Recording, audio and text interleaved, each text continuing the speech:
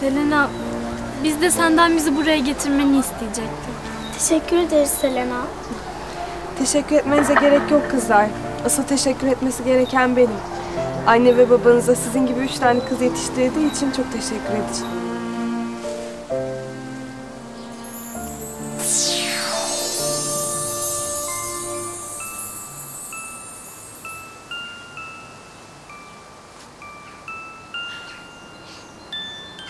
Anneciğim, bu sensiz geçirdiğimiz ikinci anneler günü.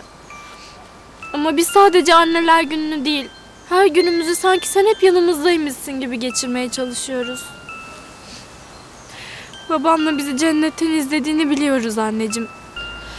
Bu yüzden bizimle gurur duymanız için çabalıyoruz. Seni çok özledim. Anneler günün kutlu olsun.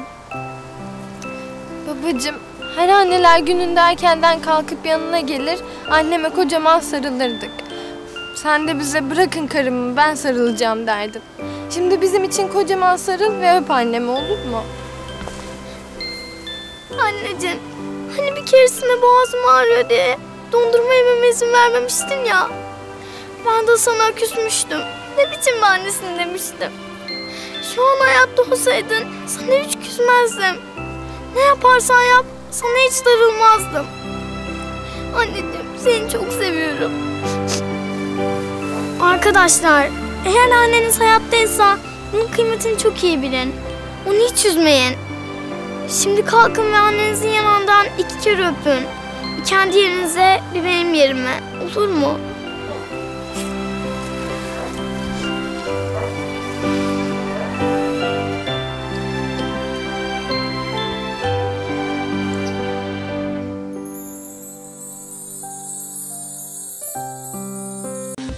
ATV YouTube kanalına abone olun, hiçbir şeyi kaçırmayın.